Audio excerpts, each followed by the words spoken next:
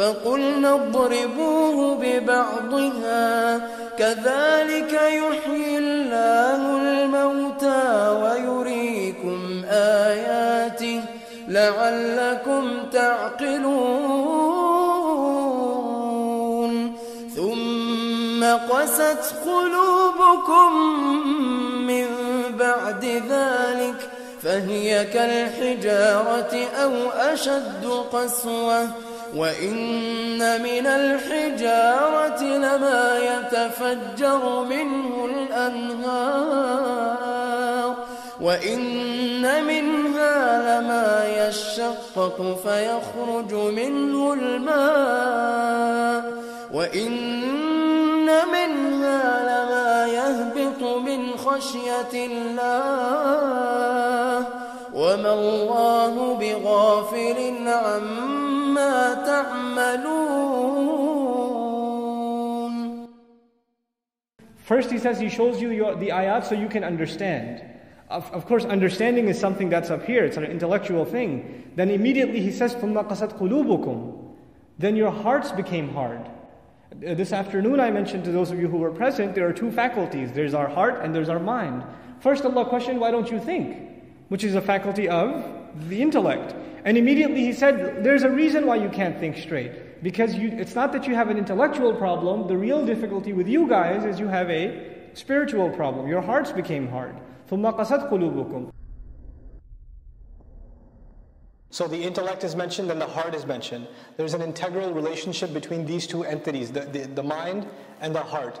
And the Arabic language, the Arabic of the Quran, helps us understand some intricacies of that relationship. The word aqal in Arabic literally means to tie. Aqala, to tie something. Like aqalat al-mar'atu sha'raha means the woman tied her hair. The woman tied her hair.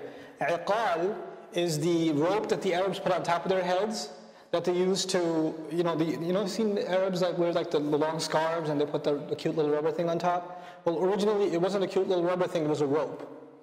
And the rope was there because, not just because the scarf flies off, but because they would take it off and that was their anti-lock brakes for their camel.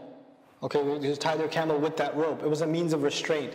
Aql is literally called a means, it's, the intellect is referred to as a means of restraint, a leash. Why? Because your emotions want you to do something, your temptations, your, your uh, you know, sentiments want you to say something, but you hold yourself back when you use your intellect. What we learn from that also is, you know, when you're overly angry, you can't think clearly. When your emotions are high, you can't think clearly. When you're overly sad, overly angry, overly scared, whenever any of those emotions are running high, your mind shuts off. You're, you're not thinking straight. Aql is a means of restraint. In other words, the, so the Arabs, until you have your emotions under control, Emotions to the Arabs are where, by the way? In the, mar- in the, hind, in the, in the, in the mind or in the heart? In the heart. Until your heart is in check, you can't use your mind properly. Our minds, they process things. We calculate with our mind. We analyze with our mind. We understand things with our mind. We memorize, we learn, things like that. We do this with our minds. And our minds progressively develop. In other words, the, the mind of a child that's four is less advanced. And when, it, when he becomes six or seven or eight or ten, it starts getting more and more advanced. And when that same person becomes 20, their mind has matured. And when they become 30 and 40, it's matured even more. So the mind is something that's constantly growing and maturing and uh, learning more and more, acquiring more and more. However, the heart is a different kind of entity. The heart doesn't mature or grow, the heart fluctuates. Well, some days you'll have really good days as far as remembering Allah and being cautious of Allah, and other days will be really bad. You have up and down in the heart. And the heart can become hard and the heart can become soft. It can die, it can come back to life, etc. Right? So on the one hand you have this entity that matures, and on the other hand you have this entity that inside of us that is very volatile. It's very, you know, a fragile entity, which is our hearts. We have to take care of this heart. So, in, in other words, you know how sometimes the, the khatib will give a khutbah about something you've heard a thousand times? And the first thing that goes on in your head is, man, I already know this. I don't need to hear this again. I already know this. Well, you know it up here. Your mind understands it, but what still needs it? The, the, the heart still needs it. The heart needs the reminder. أَلَا بِذِكْرِ اللَّهِ تَطْمَئِنَّ الْقُلُوبِ فَذَكِّرِ إِنَّ فَعَتِ الذِّكْرَى Reminder has benefit, benefit for the hearts. Now, the thing is though, the question is, as far as the, the Qur'an's picture of human psychology, when you and I make a decision, does that decision come from the mind or does it come from the heart? It's a very interesting philosophical question. Well, how do we make our decisions? And the, the, the answer to that is, is actually a combination of both. but the heart is in the driver's seat.